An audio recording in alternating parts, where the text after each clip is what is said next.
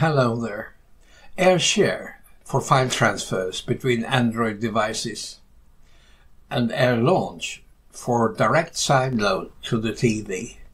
Yeah, direct. Let's go. Android TV to the right. Start AirShare. Go to Android pairings. Also on the tablet to the left. Search for devices. Now, display QR on the TV and scan QR on the tablet. Yeah. Pairing request sent to the TV. Air sharing pairing confirmed on the tablet. Exit. With AirShare you can share files between two Android devices. Air Launch goes one step further.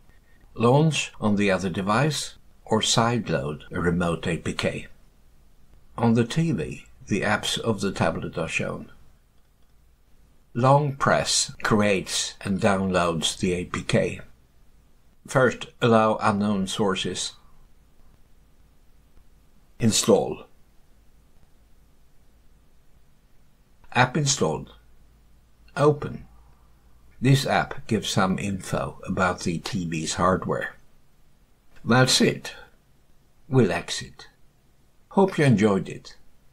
And thank you for watching.